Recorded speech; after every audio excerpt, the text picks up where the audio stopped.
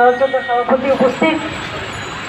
Garments শ্রমিক trade union কেন্দ্র এবং গার্মেন্টস শ্রমিক অধিকার আন্দোলনের বন্ধুগণ, বিভিন্ন এলাকা থেকে যারা এসছেন এবং সংগ্রামী- সংগ্রামী জনতা। আপনারা জেনেছেন, আজকে এই যে যৌথ উদ্যোগে যে আজকে যে আমাদের সমাবেশ বিক্ষোভ, গরম এবং আর মাত্র কটা দিন পরেই মানুষ ঈদের ছুটিতে যাওয়ার যে ব্যস্ততা মানুষের অলরেডি শুরু হয়ে গেছে এবং যারা বাকি আছেন, তারা যাবে আপনারা জানেন, গার্মেন্টস শ্রমিকরা সেই চোদ্দ, ষোলো ঘণ্টা কাজ করার পরেও তারা রোজা হোক, ঈদ হোক, যখনই যেই সময়টা আসুক না কেন, কোনো উৎসবকে সামনে রেখে সারা বছর কাজ করবে, সেই উৎসবের সময়, ছুটির সময় তখন তাদের খালি হাতে বাড়ি ফেরার যে এক ধরনের শ্রমিকদেরকে যে রাস্তার মধ্যে ফেলে দেয় আমাদের এখানকার ব্যবসায়ীরা,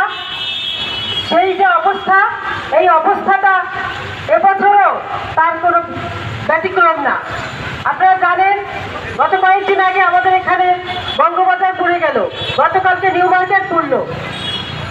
এর থেকে আমরা, আপনারা জানেন দার্জিলিং সহ এবং রানা প্লাজা রাত বছর, কয়টা দিন পরই দশ বছর হয়ে যাবে এই সময় আমরা দেখেছি বিভিন্ন জায়গায় যে দুর্যোগ হয়, আরে প্রাকৃতিক দুর্যোগ হোক এগুলো তো হবে, এটাই স্বাভাবিক।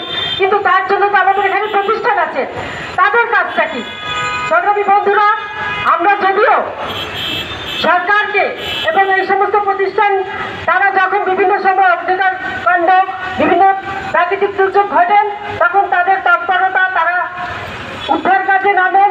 অথচ সেই সমস্ত অগ্নিকাণ্ড, যখন সেইগুলো নিয়ন্ত্রণ করার মতো আমাদের কি পরিমাণ সক্ষমতার অভাব এটাই তা প্রমাণ করে আমরা একই দেশে দুই রকম আইন। একজন পকেট ভর্তি ইনকাম করে নিয়ে যাবেন আরেকটা গ্রুপকে শ্রমিক মানুষকে তারা সেই, তাদের ন্যায্যতা দিবেন না। অতএব আমরা বিভিন্ন সময় দেখে আসছি, সরকার উন্নয়নমূলক কথা বলছেন, শ্রমিক বান্ধব কথা বলছেন, কিন্তু তাদের কর্মকাণ্ড এবং কার্যক্রমে বলছে, তারা মালিকের সরকার, তারা এদেশের ব্যবসায়ীদের সরকার।